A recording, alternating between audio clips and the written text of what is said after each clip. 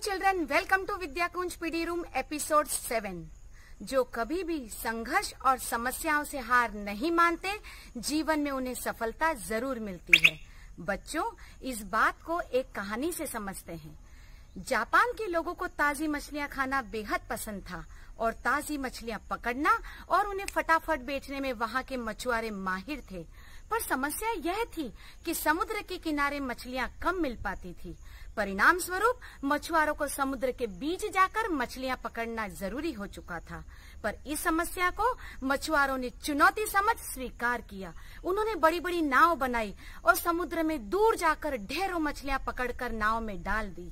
और जब तक किनारे पर पहुँचे तीन चार दिन हो चुके थे, मछलियाँ बासी हो चुकी थी। लोगों ने ऐसी मछलियाँ कम पसंद की, पर मछुआरों ने हार नहीं मानी। उन्होंने अपनी नाव में बड़े बड़े फ्रीजर बिठा दिए। अब समुद्र के बीच मछलियाँ पकड़ते और फ्रीजर में डाल देते। पर जब किनारे पर आते, लोगों ने फिर उन मछलियों को नापसंद किया और कहा, ये मछलियाँ ताजी तो हैं, पर जमी हुई है। मछुआरों ने फिर हार नहीं मानी। उन्होंने अपनी नाव में बड़े बड़े वाटर टैंक लगा लिए। अब फिर मछलियाँ ढेरों पकड़ते और वाटर टैंक में डाल देते। किनारे पहुँचने तक वह मछलियाँ वाटर टैंक में तैरती, पछाड़े मारती और थककर सुस्त हो जाती थी।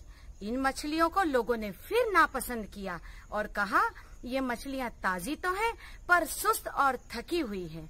मछुआरों ने फिर हार नहीं मानी। उन्होंने सोचा कि इस समस्या का कोई सही समाधान किया जाए।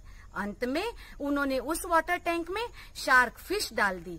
अब जब ढेरों मछलियाँ पकड़कर टैंक में डाली, कुछ मछलियों को शार्क फ़िश खा जाती थी। लेकिन खुद को बचाने के लिए जो मछलियाँ निरंतर पानी में तैरती, घूमती रहती थी, उन मछलियों को जब किनारे जाकर बेचा, लोगों ने उसे बेहद पसंद किया।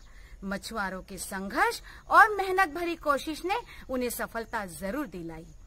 इस कहानी से हम यह सीखते हैं कि जीवन में आई छोटी बड़ी समस्याएँ, मुश्किलें या संघर्ष से हमें हार कभी नहीं मानना चाहिए, बल्कि मछुआरों की तरह निरंतर प्रयास करते रहने चाहिए।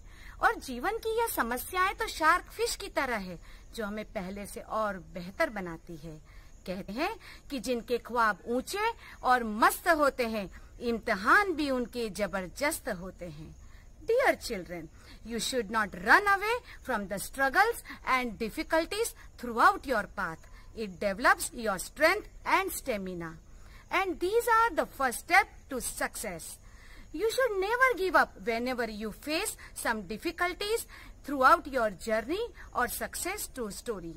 But continuous efforts will end to the story of success. Do you know the struggle in which you are today is developing the strength and stamina which you will need tomorrow. And remember one thing that behind every successful story there is a lot of unsuccessful efforts. So keep on trying, do hard work, be successful and best of luck. Hum fir milenge. Till then, bye-bye.